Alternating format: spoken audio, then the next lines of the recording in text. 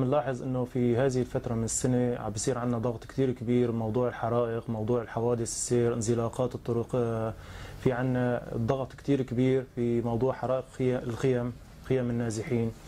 عندنا مع الأسف يوجد ضحايا كل فترة عندنا ضحايا شهداء نتيجة احتراق الخيام أو الكرفانات في مناطق النزوح في عندنا معاناة كثير كبيرة آه، بتمنى آه، تصل لكل المعنيين.